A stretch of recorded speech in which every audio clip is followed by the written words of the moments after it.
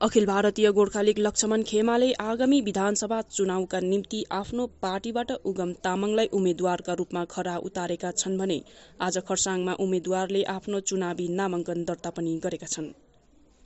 उक्त नामाङ्कन दर्ता पश्चात अखिल भारतीय गोर्खा लीग अध्यक्ष लक्ष्मण प्रधान साथै उम्मेद्वार उगम तामाङले एक पत्रकार सम्मेलन मार्फत विस्तृत रूपमा जानकारी दिएका छन्। नमस्कार। अखिल भारतीय गोर्खाली केन्द्र कमिटीका आज यहाँ हामीसँग पत्र पत्रकार मार्फत केही जानकारी जनाउनका निम्ति अध्यक्ष श्री लक्ष्मण प्रधानज्यू कोषाध्यक्ष श्री भोटु छेत्री अनि हाम्रो प्रमुख सल्लाहकार श्री डक्टर बकुल सिन्हा उपस्थित हुनुहुन्छ। विशेष गरेर वर्तमान हाम्रो यो पार्टीभित्र नै चल्दै गरेका केही द्वन्द्वहरू छ। जसमा यहाँ धेरै प्रकारका लान्छनाहरू लाउने कामहरू गरिरहेको छ हामीलाई। तर आज यहाँ स्पष्ट भन्नुपर्दाखेरि अखिल भारतीय गोर्खा लिग लक्ष्मण प्रधान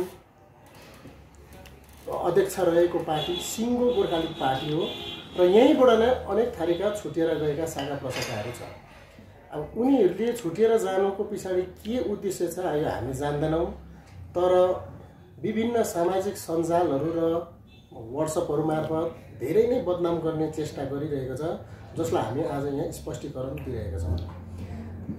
हालैमा हामीले केन्द्र समितिबाट अनुशासन एउटा अनुशासित एउटा कमिटी हामीले गठन गरेर दुईजना हाम्रा कमिटी केन्द्र समितिका पद अधिकारीहरूलाई हामीले गिल्ट फाउन्ड गरेका थियौँ। र उहाँहरूलाई हामीले निष्कासन पनि गरेका थियौँ। र बिचबिचमा सुन्नु आउँदै थियो कमिटीभित्रको एउटा शीर्ष नेताको पनि हात छ उहाँकै निर्देशअनुसार गरिएको भनेर हामीलाई पत्यार लागिरहेको थिएन।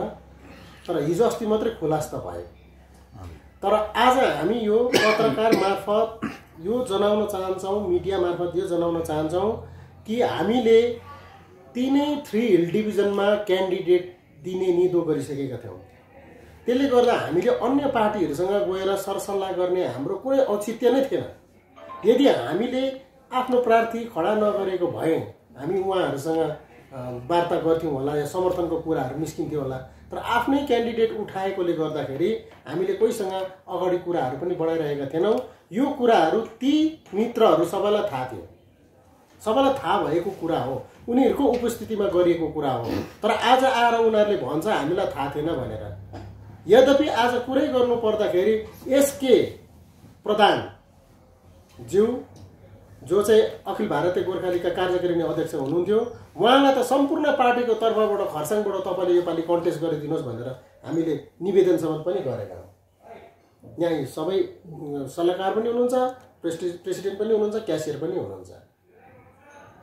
तर उहाँले हामीलाई उड्दिन भनेर कहिले पनि भन्नुभयो उहाँले आफ्नै हातबाट एसडी अफिसबाट क्यान्डिडेट प्रार्थीको फर्म निकाल्नुभयो नोमिनेसन फर्म निकाल्नुभयो अनि नोमिनेसन फर्म निकालेको भोलिपल्ट अर्को क्या क्याम्पमा गएर साँडकाट गर्नुपर्ने बाध्यता चाहिँ के थियो?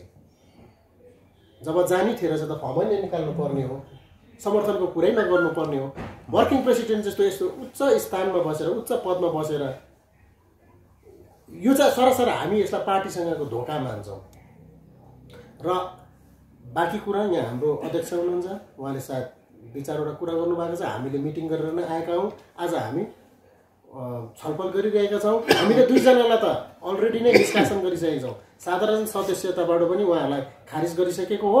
अब उपरान्तको हामीले एउटा अनुशासित कमिटीले के कस्तो प्रकारको निर्णय लियो भन्ने कुरो चाहिँ यहाँ अध्यक्ष स्वयंले जानकारी दिनुहुनेछ। सोमबारको दिन आज होली पूर्णिमाको दिन पनि हो। यो होलीमा दार्जिलिङ कालिम्पोङ खरसाङ विशेष गरेर यो तिनवटा निर्वाचन क्षेत्रका बासिन्दाहरूले पहिलोबाट हामी शुभकामना व्यक्त गर्दछौँ। र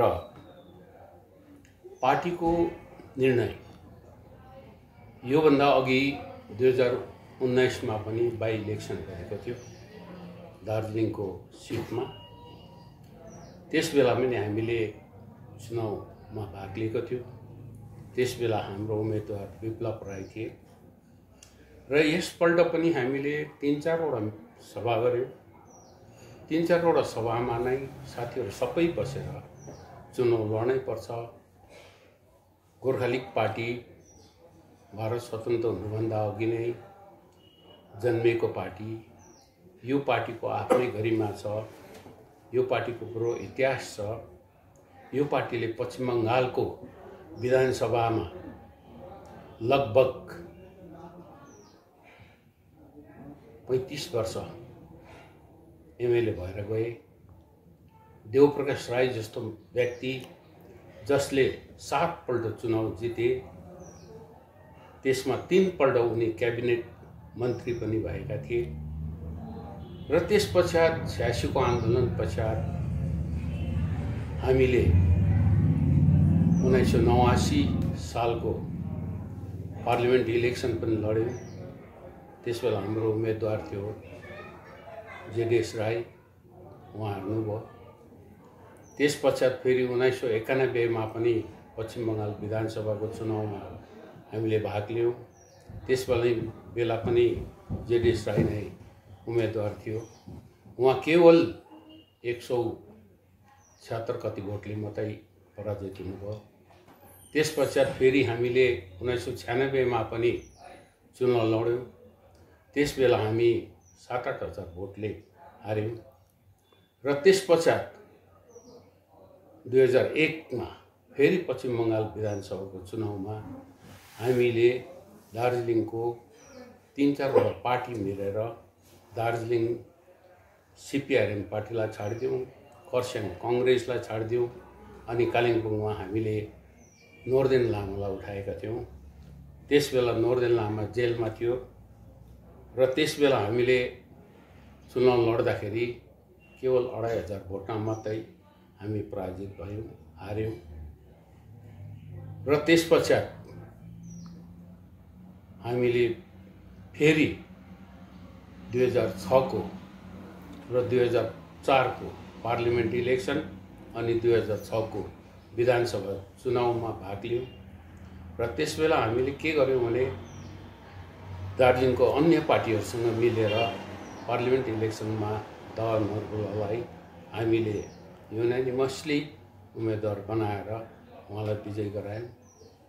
त्यस पश्चात दुई हजार छमा पनि हामीले चुनाव लड्यौँ। अमर लामालाई उम्मेदवार बनायौँ।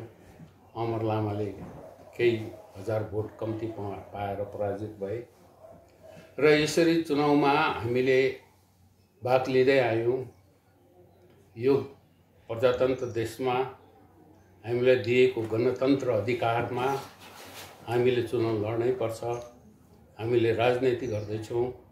हामीले राजनीति गर्नुको अर्थ हो जनहितको निम्ति केही गर्नु। तर दुःखको कुरो दार्जिलिङबाट कालिम्पोङबाट खरसाङबाट धेरैपल्ट हाम्रा विरोधी दलका उम्मेदवारहरूले एमएलए प्रार्थी भएर विजय हासिल गरे तापनि उनीहरूले भने जस्तो केही पनि गर्न सकेन। त्यति मात्र होइन दार्जिलिङमा डिजिएससी थियो अघि। डिजिएससीमा त्यहाँनिर लगभग अठाइसजना काउन्सिलरहरूको सिट थियो र डिजिएससीको एक्ट अनुसार एमपी पनि त्यहाँनिर एक्स अफिसियो मेम्बर हुनुपर्ने एमएलए पनि त्यहाँनिर एक्स अफिसियो मेम्बर हुनुपर्ने तर एमएलए र एमपीको भूमिका हामीले कहिले पनि देखेनौँ। त्यसरी नै दुई हजार एघारमा जिटिए गठन भयो। जिटिए गठन भएर आजसम्म पनि जिटिए चल्दैछ। तर त्यहाँ पनि एमपीको कुनै भूमिका छैन एमएलएको कुनै भूमिका छैन। त्यति मात्र होइन। दार्जिलिङमा सबैभन्दा पुरानो दार्जिलिङमा पश्चिम बङ्गालभरिमा दुई नम्बरमा रहेको दार्जिलिङ नगरपालिका छ। नगरपालिकाको चुनाव भयो। चुनाव भएपछि उनीहरूकै घर झगडाले गर्दा उनीहरूले त्यो बोर्ड लथालिङ्गे बनाएर राख्यो। आजसम्म लथालिङ्गे छ। न एमएलएलाई त्यसको जानकारी छ न एमए एमपीलाई नै जानकारी छ न एमपीले नै कुनै केही गरौँ भन्ने पाइला चालेको छ न एमएलए नै चाल्यो आजसम्म पनि त्यो स्याडोमा बसिरहेको छ र दार्जिलिङको जनताले जुन नगरपालिकाबाट पाउनुपर्ने अधिकारहरू छ त्यो उपभोग गर्न पाएको छैन। र यसरी जिटिएम चल्दैछ र जिटिएमा कति फन्ड आउँछ केन्द्रबाट कति आउँछ राज्यबाट कति आउँछ अनि त्यसले जिटिएले कुन प्रकारको योजनाहरू तयारी हुन्छ त्यो योजनाहरूलाई कार्यरूपमा परिणत गर्दा कति कति राशि धनराशि खर्च गरिन्छ त्यसको हिसाब किताब जनताले केही पनि जान्दैन। कहिले पनि बुझ्न पाउँदैन।